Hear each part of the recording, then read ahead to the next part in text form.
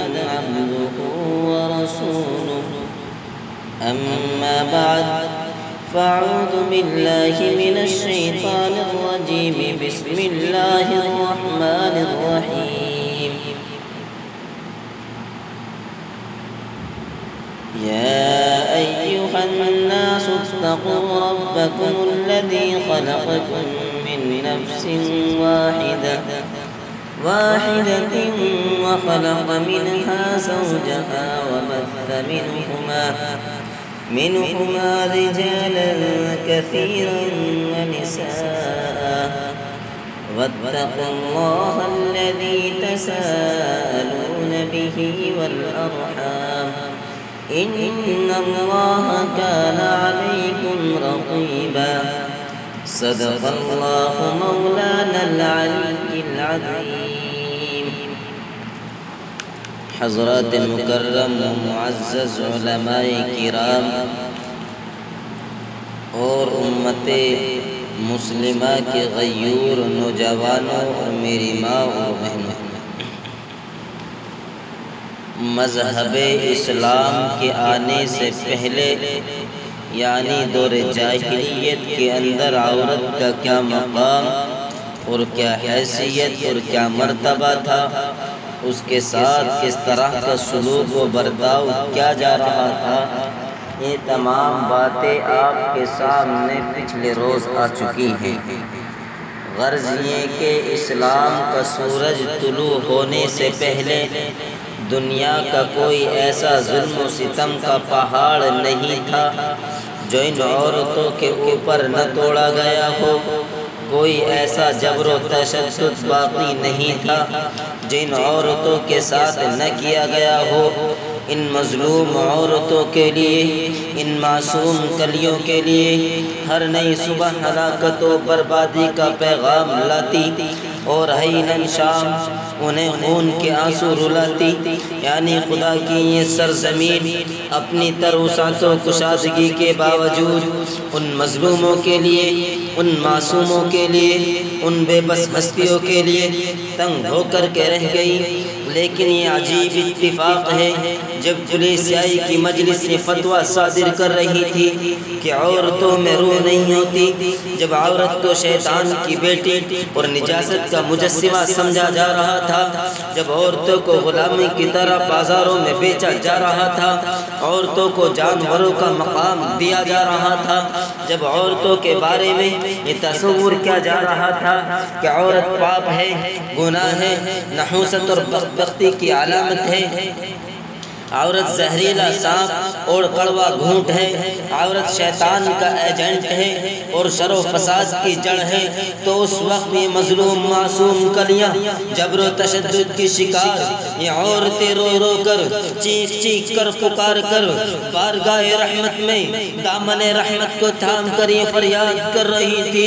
ए रब्बा ए रब्बा, तू ही हमारा मालिक है, तू ही हमारा खालिक है, तू ही हमारा आका मौला है तेरे सिवा हमारा इस दुनिया में कोई नहीं। तेरे सिवा इस दुनिया में हमारा कोई मदद करने वाला नहीं। या अल्लाह तो हमें इन जालिमों की जुल्म से निजात दे। रब करीम, इन दरिंदों की दरंदगी से बचा ले। इन शैतानों की शैतानी से हमें छुटकारा दे दे। तो अचानक अर्श अजीम खरा उठा। रहमत खुदाबंदी जोश में आ गई। फिर उसने दुनिया के सियाह पर्दे पर एक ऐसे पुरनूर इंसान का जहूर फरमाया।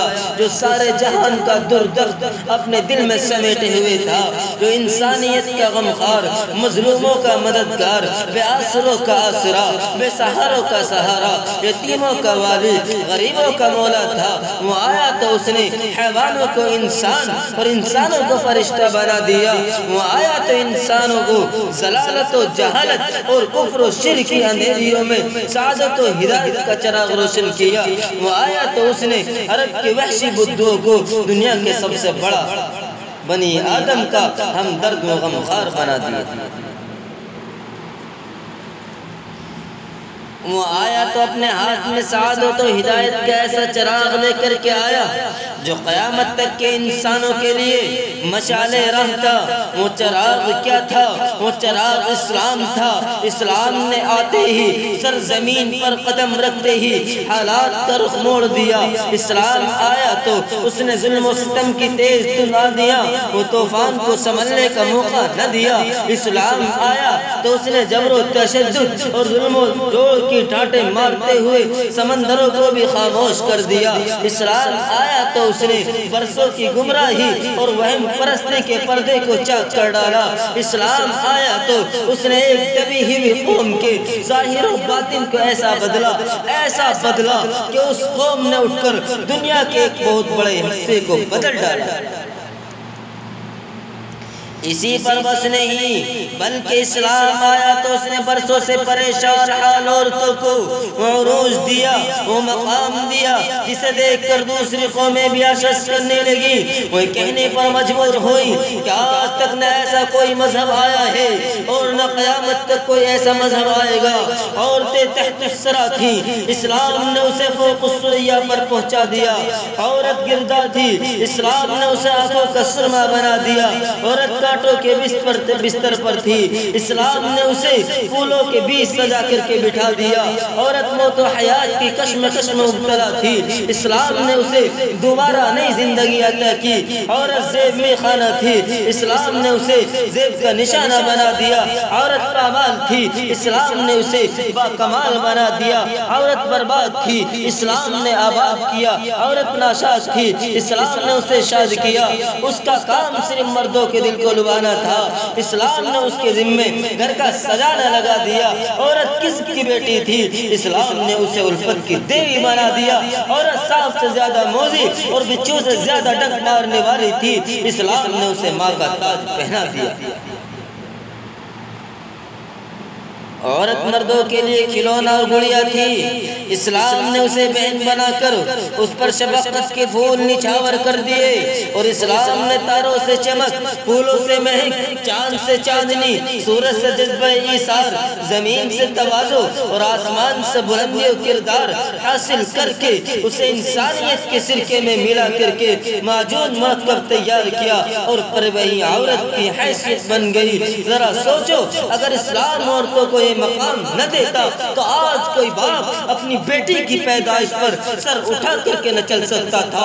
अगर इस्लाम औरत को ये अरूज ये रफत ये बुलंदी न देता, वो हमेशा की तरह बुद्धि और देवा देवता की बैठ चढ़ती रहती। अगर इस्लाम इज़्ज़त न देता तो बेटी की तरबियत, जन्नत की जमानत न होती। अगर इस्लाम औरत को ये मकाम न देता तो माँ की खिदमत करने से जन्नत का परवाना न मिलता। अगर इस्लाम औरत को ये मकाम न देता तो माँ के कदमों के नीचे जन्नत न बतलाई जाती। अगर इस्लाम माँ को वो मकाम न देता, माँ को अब तक कहने, बल्कि मारने और घर से निकाल देने में कोई दुरेग न करता। अगर इस्लाम आजमत न देता तो कोई बोला मुसलमान खातन के लिए भी रिटायर्ड होम तामीर करने पड़ते। जरा सोचो, ये अल्लाह तबारक वाली का बड़ा एहसान करम है।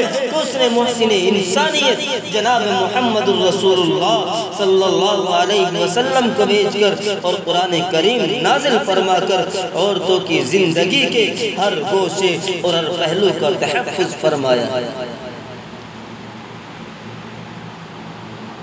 मेरे मुसलमानों माशरे से गिरी हुई और माशरे की दबी हुई मखलूक को वो अरूज दिया वो मकाम दिया वो हकूक अदा किए, जो आज तक न किसी मज़हब और न किसी हुकूमत और अदालत ने दिया है और ना ही क़यामत तक दे सकेंगे। मगर फिर भी आज कुछ मॉडर्न तबका, जो अकल से पैदल, जहानत से मुफलिस और दीन से बागी, बल्कि मैं यूँ कहूँ कि वो दीन का गद्दार है, वो मेरे नबी से नफरत करने वाला है अल्लाह के कानून को तोड़ने वाला है, बल्कि इससे बढ़कर मैं यूँ कहूँ, जो ये कहता है कि औरत हमारे माशरे का मजलूम तरीन तबका है, औरत के हकूक को पामाल हो रहे हैं, उसका इस्तेसाल हो रहा है, आज वो तबका इस्लाम की औरतों के हकूक का गासिब करार देता है, लेकिन मैं चैलेंज करता हूँ, इस्लाम पर एतराज़ की उंगली उठाने वालों को कि इस्लाम के अलावा कोई ऐसा मज़हब, कोई ऐसी हुकूमत अदालत दिखाओ कि जिसने औरत को बचपन में शफकत दी हो जिसने औरत को जवानी में उल्फत और मोहब्बत दी हो जिस मज़ाक ने औरत को बुढ़ापे में अजमत दी हो, उसके मरने के बाद दुआए मगफिरत का हक दिया दिया इस्लाम के अलावा कोई मज़हब दिखाओ, जिस मज़हब में माँ के कदमों के नीचे जन्नत बताई गई हो, जिस मज़हब में लड़की की तरबियत को जन्नत की जमानत बताई गई हो, जिस मज़हब ने औरत को उस वक्त इज़्ज़त दी हो, जब औरत को इंसान होने या ना होने के बारे में बहसें हो रही थी, मीटिंगें हो रही थी, जिस मज़हब ने औरत के हसन जमाल को नहीं, बल्कि उस औरत के होने के काबिल एहतराम ठहराया हो, जिसने अच्छी बीवी को आधा ईमान करार दिया हो, जिस मज़हब ने बेवा औरतों को इज़्ज़त के मसनत पर बैठाया हो, वो मेरे प्यारे आका इंसानियत मोहम्मद सल्लल्लाहु के अलावा कोई ऐसा कायद और रहबर दिखाओ। जिसने अपनी जवानी बेवाओं का घर बसाने के लिए वक्त कर दी हो, जिसने बेटियों की तरबियत की हो और बेटों के न होने पर कभी हसरत अफसोस ज़ाहिर न किया। जिसने औरत को इल्मी और अमली और अखलाकी मैदान में मर्द के बराबर खड़ा किया हो, मुझे इस्लाम के अलावा कोई ऐसा मज़हब दिखा सकते हैं जिसमें ये कहा गया हो कि लोगों, कभी वालिदेन से सवाल और जवाब की नौबत आ जाए तो उन्हें उस तक भी न कहना, ताकि उनके आप जीना दिल को ठेस न पहुँचे, जब उनके सामने जाओ, अकड़ कर नहीं, इनकी सारी और आजी के साथ जाओ, जब वो दुनिया से रुखसत हो जाए तो उनके लिए दुआएँ मगफिरत करते रहो। इस्लाम के अलावा कोई ऐसा मज़हब दिखा सकते हैं कि जिसने औरत को बेटी होने की हैसियत से वो मकाम दिया हो, जो इस्लाम ने दिया है। इस्लाम ने कहा, जिसके यहाँ कोई लड़की पैदा हो और उसे ज़िंदा दफर न करे, न उसकी तोहीन करे, न बेटे को उस पर तरजीह दे तो अल्लाह तबारक व ताला उसे जन्नत में दाखिल करेगा। इस्लाम ने कहा, जिसके यहाँ लड़कियाँ पैदा हो और उनकी अच्छी तरह परवरिश करे तो यही लड़कियाँ, उसके लिए कल कयामत के दिन दो से आड़ बन जाएँगी, जिसकी वजह से जानवन की आग उसे छू न सकेगी। मैं चैलेंज करता हूँ यूरोप के उन परस्तरों को और पूछता हूँ के सुरमाओं से कि तुम कहते हो कि हमने औरत को आज़ादी दी है। लेकिन मैं कहता हूँ, तुमने औरत को आज़ादी नहीं दी है, बल्कि उनकी आज़ादी छीनी है, बल्कि उनकी आज़ादी छीनी है। तुमने माओ की ममता गुम कर दी है, तुमने बहन के सर से आंचल खींच लिया है, तुमने बेटी को शफकत और मोहब्बत से महरूम कर दिया है, तुमने औरत के जमाल को तमाशा बना दिया है तुमने उसकी जवानी को खेलौना बना दिया है। तुमने उसके जिस्म को, जिनसे अर्जा करार दिया है। तुमने औरत को शब महफिल बनाया है। तुमने उसको कल्बों में जाकर नाचना, गाना और थरकना सिखाया है। तुमने उन्हें मर्दों का दिल लुभाया और मर्दों को मुतवजह करने का ढंग बताया है। जबकि इस्लाम ने उसके हसन को, उसके जमाल को, उसकी जीनत को, उसकी काशा जीनत बनाया है। तुमने औरत को हसन को उजागर किया, जबकि इस्लाम ने उसकी इंसानियत को नुमाया किया। तुम औरत की कीमत उसके ज़ाहिर से लगाते हो। जबकि इस्लाम उसकी कीमत उसके बातिन के अतबार से लगाता है। तुम औरत के चौराहे पर लाना चाहते हो, लेकिन इस्लाम ऐलान करता है। अल्लाह के बंदो अल्लाह के बंदो, औरत को औरत ही रहने दो, उसी में फ़ायदा है। औरत का भी, मर्द का भी, इसी में फ़ायदा है। बच्चों का भी, घर और खानदान का भी, इसी में फ़ायदा है। दीन और दुनिया का भी, और तहजीब और तमद्दुन का भी। इस्लाम बार बार ऐलान करता है। अल्लाह के कमज़ोर बंदो, अल्लाह अल्लाह की फितरत को और उस मखलूक को बदलने की कोशिश न करो। तुम्हारे बस की बात नहीं है। जो लोग कोशिश में है कि औरत पर एतबार से मर्द के बराबर कर दे, वो हकीकत में अल्लाह की फितरत को चैलेंज कर रहे हैं। और ये बात हमेशा से चली आ रही है कि फितरत को बदलने वाले हमेशा से इसके दो चार हुए हैं। अगर अल्लाह रब्बुल इज़्ज़त ने औरत को किसी एतबार से मर्द से कमज़ोर बनाया है। अब अल्लाह तो कौन है जो कुदरत के फैसले को बदल दे औरत को ताकतवर बना दे? क्या साइंस ने कोई ऐसा तरीका दरियाफ्त कर लिया है? कि ऐसा तरीका मालूम कर लिया है? कि ऐसा तरीका जान लिया है जिससे औरत को हमेशा के लिए हैज़ निफास से निजात मिल जाए? क्या ऐसा हो सकता है? क्या औरत को विलालत, क्या औरत को विलालत और से छुट्टी मिल जाए? क्या औरत को उसकी ज़िम्मेदारी को मर्द निभाने के लिए तैयार है।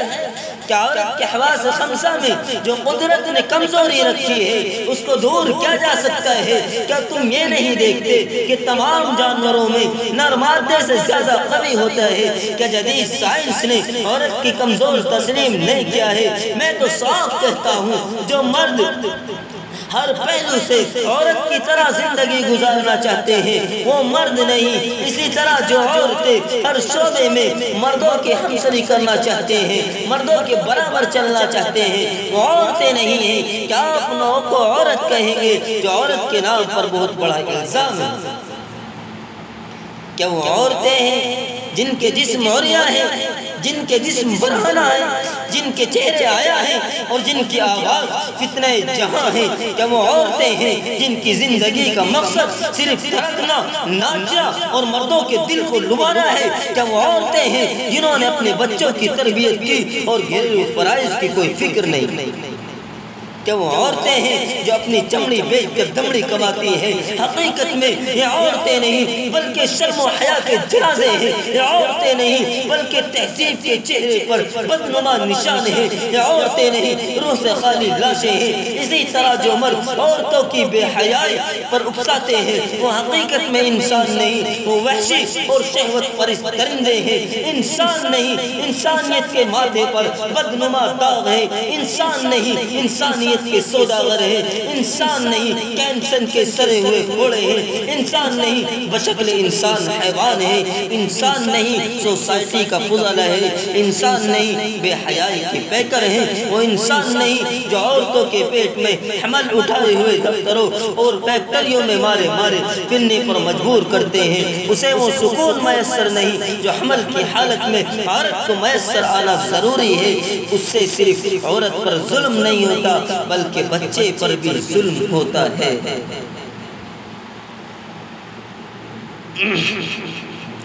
पैदाइश के बाद बच्चे को माँ की आगोश की तलाश होती है और माँ की ममता का प्यासा होता है। मोहब्बत और प्यार का मोहताज होता है।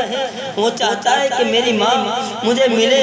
और मेरी माँ मेरे सीने से लगाए, उमा की मोहब्बत भरी आवाज़ सुनना चाहता है। उसकी मादर उसकी मादिराना मोहब्बत के साथ परवरिश और तरबियत ज़रूरी होती है, मगर माँ की मसरूफिया बच्चे की सारी आरजुए और ज़रूरतों का खून कर देती है। मैं मानता हूँ कि उन बच्चों के लिए बेहतरीन दूध और गज़ाओं का इंतज़ाम कर दिया जाता है, मगर आज उसकी रोशन रोशन, उसकी रोशन दौर में भी डॉक्टर और साइंसदान इस बात को तस्लीम करने के लिए तैयार है कि गज़ाएँ माँ के दूध का मुतबादल बन सकती, जो माँ का दूध बच्चे को कुत और ताकत अदा कर सकता है। वो दूध कोई दूध दुनिया में पैदा नहीं हुआ, जो कुत और ताकत बच्चे को अदा कर सकता है। मैं इतराज़ करता हूँ कि उन बच्चों के लिए बेहतरीन नर्सिंग होम तामीर किए गए हैं, मगर सोचिए कि वहाँ उन्हें माँ का प्यार मैसर आ सकता है। क्या उनको माँ की ममता, माँ की मोहब्बत मिल सकती है? मैं इकरार करता हूँ कि उन बच्चों की खिदमत और परवरिश के लिए बेहतरीन माएँ रखी जा सकती हैं। मगर क्या उनके सीने में माँ की ममता का दिल भी मुंतकिल किया जा सकता है? हाय यूरोप वालों, अल्लाह पाक तुम्हें हिदायत दे और हम सबको भी हक बात समझने की तौफीक अता फरमा दे। आमीन। वाखिर दावाना। अल्हम्दुलिल्लाहि रब्बिल David.